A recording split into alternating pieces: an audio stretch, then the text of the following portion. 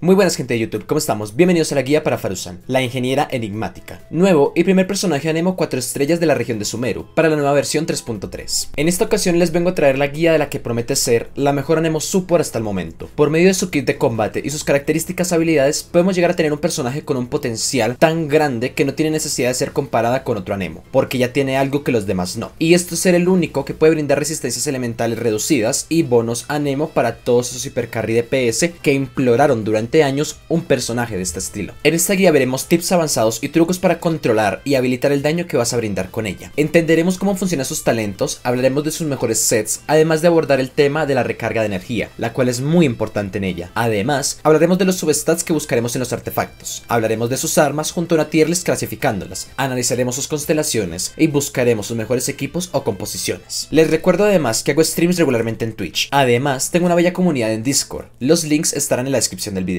Espero disfruten de esta guía y la aprovechen al máximo. No siendo más, Comenzamos. Empezando con esta guía me gustaría empezar analizando los talentos y pasivas de combate, empezando por su habilidad elemental, Cielo Ventoso de Nasam Jin. Con ella, Farusan despliega un poliedro que inflige daño a Nemo en el área de efecto, además de obtener una pasiva llamada Encarnación del Vendaval, la cual hace que el siguiente ataque cargado aplique a los enemigos un estado llamado Derribo Tormentoso, el cual invoca un vórtice que, además de infligir daño a Nemo en área, es capaz de traer a los enemigos cercanos. Este daño se considera daño de habilidad elemental. Esta habilidad, además de lo visualmente llamativo que es atraer enemigos con una flecha cargada, es el pilar de la recarga de energía de Farusa, ya que ella no genera partículas al golpear los enemigos con su elemental, más bien lo hace cuando le impacta con el derribo tormentoso. Es decir, que el gameplay de Farusan, aunque incómodo, debe basarse en tirar este ataque cargado, para, además de juntarlos, facilitar la recarga de ella. Pasando a su habilidad definitiva, Camino del Ascenso, Farusan despliega rápidamente un poliedro fulgurante, que libera ondas borrascosas que infligen daño a Nemo en el área de efecto. Mientras está activo, el poliedro se moverá continuamente, haciendo un recorrido triangular. Al terminar la trayectoria, este liberará una onda borrascosa. Esta, al golpear a un enemigo, aplicará sobre los enemigos una maldición viento traidor, la cual reduce su resistencia a Nemo, además de brindar a los miembros del equipo cercanos una bendición viento sacro, la cual les brinda bono de daño a Nemo. Ambos efectos tienen una duración de 4 segundos. Esta definitiva, como ya parecía, es el talento insignia de Farusan. Con él, por fin nos tenemos de PS y Percarry consiguieron a alguien que, además de reducir resistencias del enemigo al que están golpeando, consiguieron que les ayude con un bono elemental que, si lo ponemos en perspectiva, es prácticamente lo que un Kazuha brinda a otros usuarios de elementos, al que puede transformarse los torbellinos. Lo que no entiendo de esta definitiva es que no sé si lo hicieron por buscar algo innovador en ella, o simplemente vieron que estaba demasiado desbalanceada y tenían que hacer algo para que no estuviera rota. La cuestión es que hicieron que los ataques del poliedro abarcaran una amplia área, pero no constante. Es decir, que cada cierto tiempo la definitiva se moverá hacia otro punto, dejándote vendido contra los enemigos, sin bajar sus resistencias elementales a Nemo. Y pues no es que se te vaya a ir sin la resistencia reducida. Para mí, simplemente se ve incómodo que su órbita se vaya lejos. Pero esta supuesta desventaja se mitiga con constelaciones, que iremos viendo en su propio apartado. Y una vez pasado los talentos de combate, seguiremos con sus pasivos, empezando por el primer talento llamado Ráfaga Impetuosa. Esta nos dice que al estar bajo los efectos de encarnación del vendaval del cielo ventuoso de Nasham Jin, su elemental, el tiempo de carga del disparo preciso de Farusan se reduce en un 60%.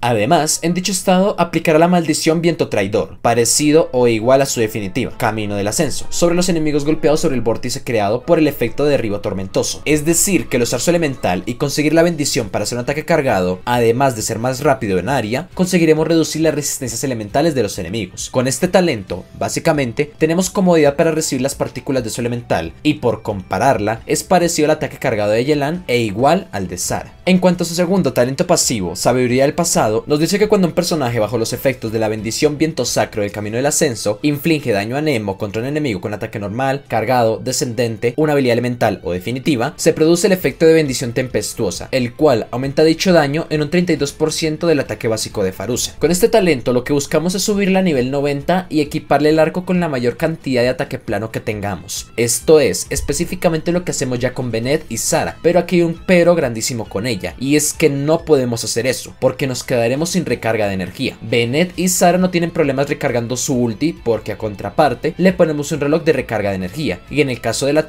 Le llevamos además en consonancia electro, que esto le genera más partículas a su definitiva, pero con Farusan no se puede hacer esto. Por lo general, los arcos que tienen la mayor cantidad de ataque plano son aquellos que no tienen recarga en sus stats, como es el caso de las alas celestiales, agitador de relámpago, etc. Y como ya vimos en su elemental y definitiva, Farusan le cuesta crear sus propias partículas elementales. Luego entraremos en detalles, pero lo que deben saber es que tiene que tener una buena recarga si quieren ponerle estas armas para que el bufo que brinda con este talento sea más grande. Siguiendo con la guía, pasaremos a hablar de los artefactos, no sin antes hacer un pequeño inciso, y es que dependiendo de qué equipos decidas llevar en ella, los artefactos cambiarán. Dependiendo de con quién la agrupemos, cuántas constelaciones tengamos y el arco que usemos con ella, pues tendremos más variedad en ella o no. Así que vamos a dividir sus artefactos en dos, los que se usarán para apoyar el hipercarry anemo del equipo y los que se usarán como Farusan como DPS en campo. Para apoyar al Trotamundos y Xiao, lo ideal es que le llevemos con dos piezas de sombra verde esmeralda y dos piezas de emblema del destino. Con este set, en los dos bonos por dos que nos brindan, nos dan bono a Nemo en un 15% y recarga energía en un 20%. Esto les pueden ayudar a conseguir más fácil su ulti, a la par de agregar una gran cantidad considerable de daño por multiplicar todas sus fuentes con este bono de verde que nos da. No hay variante este set de artefactos como support de Anemos, es lo más óptimo para ella. En cuanto a su segunda forma de armarla, a diferencia de la primera opción, es equiparle con 4 piezas de sombra verde esmeralda, que a bono por 4 reduce las resistencias elementales en un 40% del elemento correspondiente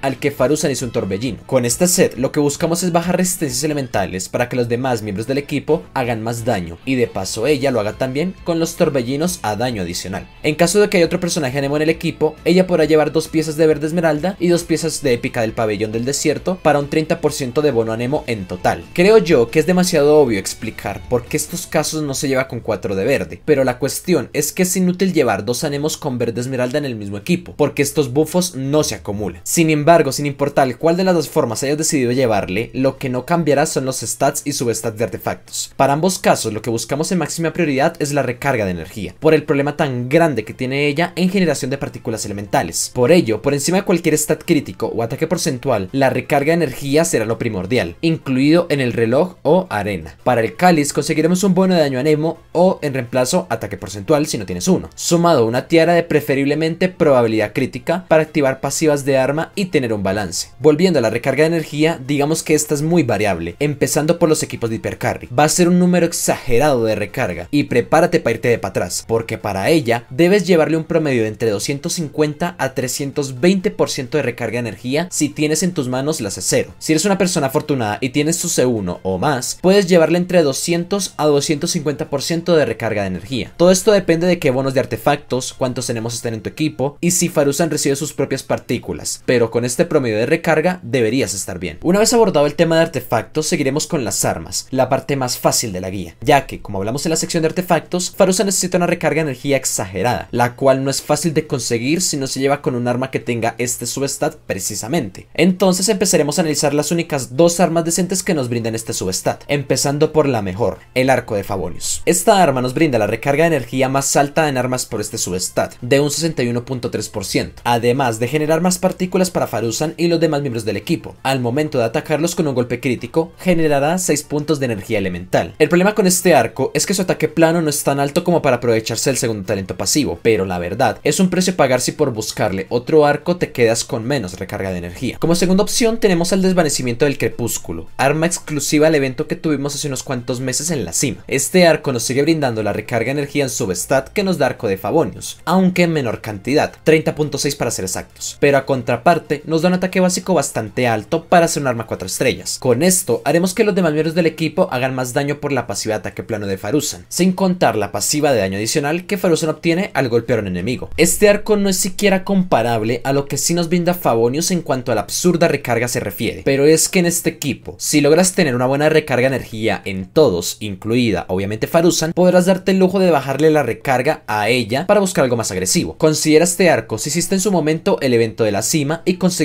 todos sus refinamientos. No descartaremos otros arcos, más que nada porque lo que quedan son arcos 5 estrellas, que, como digo en todas las guías de esta clase de personajes, le sacarás más provecho en otros usuarios de esta arma que en la propia Farusan que simplemente es un support. Sin embargo, para que tengan una guía clara de qué arma ponerle, a continuación tendrá una tier list clasificándolas, donde WS es el mejor arco para ella, perfecto para su kit de habilidades y talentos únicos, hasta llegar a D, la cual serían armas que no debes colocarle nunca, ni aunque la misma academia representada por Papi Hassem te obligue a. Repetiré de nuevo que las armas 5 estrellas no serán valoradas como se suponen que debería ser, porque son armas que le sacarás mejor provecho en otros personajes arqueros, pero si dispones de una buena recarga de energía, podrás usar una de estas armas 5 estrellas que están en la tier B o A, simplemente para que el ataque plano le ayude en su talento número 2. Al igual que con la guía de Coley y Dory, esta tier list está basada en la utilidad, más no en el daño, así que si encuentras una estrella invernal, a las celestiales o agitador de relámpago por debajo de un arco de Favonius, ya sabrás y entenderás el porqué. Referente a las quiero recalcar las más importantes y por las cuales deberías tirar y tener prioridad para ir por ellas. Aunque las enumeraremos y analizaremos todas, solo nos enfocaremos en dos, las cuales son las más importantes evidentemente. La C1 aumenta el número de las flechas huracanadas en 2, que puede hacer al momento de hacer el ataque cargado. Más daño supongo, no lo sé, no la tengo, soy pobre. Ah, pero fuera bromas. Con esta constelación puedes hacer dos cargados rápidos individuales. Esto nos ayudará a juntarlos de una mejor forma por el derribo tormentoso. Resumiendo, tienes dos cargados por un elemental. La C2 nos dice que aumenta en 6 segundos la duración del poliedro fulgurante de camino del ascenso. Esta constelación nos permite tener la última tiempo en campo para aprovechar de sus debuffos y buffos de los talentos del poliedro. Para mayor comodidad en todos los combos tardados de los hipercarry, esta es la constelación mínima que buscaremos en ella. Las C3 y C5 aumentan en 3 puntos los niveles de habilidad del elemental y definitiva respectivamente. Nada de que destacar de ellos, más que tendremos más daño brindado por talento ascendido. Pero si no las tienes no pasa nada. Estas son el camino a la C6, la cual es la importante. La C4 nos dice que al golpear un enemigo con el vórtice creado con derribo tormentoso, nos recupera 4 puntos de energía elemental a la ulti. Esto para un total de 2 cargados a 8 puntos de estos. Esta constelación aliviana nuestra carga de energía elemental. Con ella podremos bajarla para enfocarnos en conseguir daño ella misma. Y para la C6, su constelación más importante, nos dice que cuando un personaje bajo los efectos de la bendición viento sacro del camino del ascenso inflige daño a Nemo, el daño crítico de ese ataque aumenta en un 40%. Además, cuando tu personaje en combate inflige daño contra un enemigo mientras está bajo los efectos de la bendición viento sacro, aplicará el efecto de derribo tormentoso sobre dicho enemigo. Esta constelación por pasivas de todo su kit es la mejor en el caso, ya que, o viendo el daño crítico a Nemo, el cual es muy bueno, volvemos a resolver el problema de la recarga de ella, ya que el derribo tormentoso que se genera al pegarle a un enemigo activará la pasiva de la constelación número 4, así haciendo que ella pueda recargar su propia ultimate directamente aun cuando está fuera de campo. Y si solo ese es el caso para soportear, pues te puedes enfocar directamente en que ella tiene la posibilidad de brindar un 40% de daño adicional, lo cual es lo mejor en su caso. En estas constelaciones tenemos variedades que nos permite ayudar al equipo Anemo y a la propia Farusan. Si las tienes, sé que las aprovecharás al máximo. Después de haber abordado todo el tema de Farusan, kit de habilidades, mejores artefactos, armas y constelaciones, seguiremos con el apartado de composiciones, el cual será breve, porque ya sabemos que ella es muy puntual en sus equipos. Tiene tan solo un destacable y unos variables en los que reemplaza a una Nemo que ya hace bien su trabajo por ella misma. Por eso nos enfocaremos en el que hace mejor su trabajo, y este es el equipo de Hipercarry. En este equipo lo que buscaremos es que se vuelva aquella que gira en torno al DPS Anemo, con resistencias reducidas y bono elemental que brinda con su definitiva. Hace que los que entren a campo lo hagan con todos los buffos posibles. Sean Lee se encargará de protegerlos a todos y Bennett, siendo Bennett,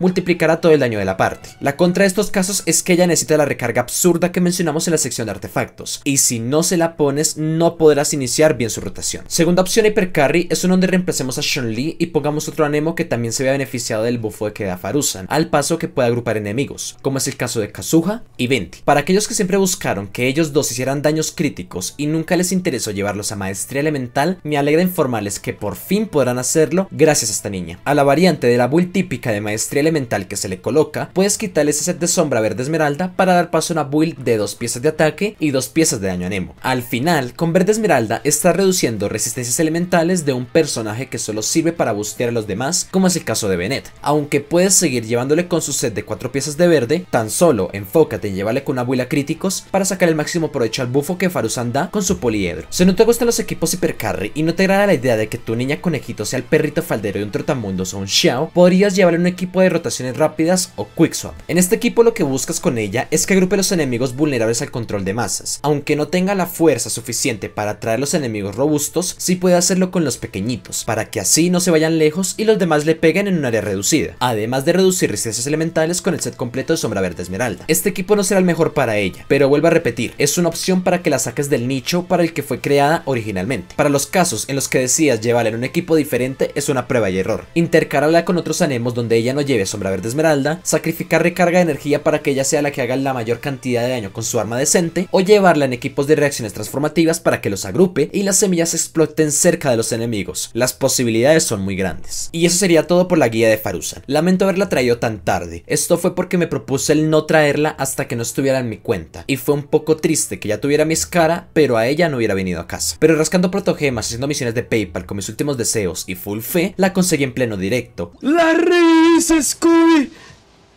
¡Vamos, Farusan! ¡Let's go! ¡Vamos!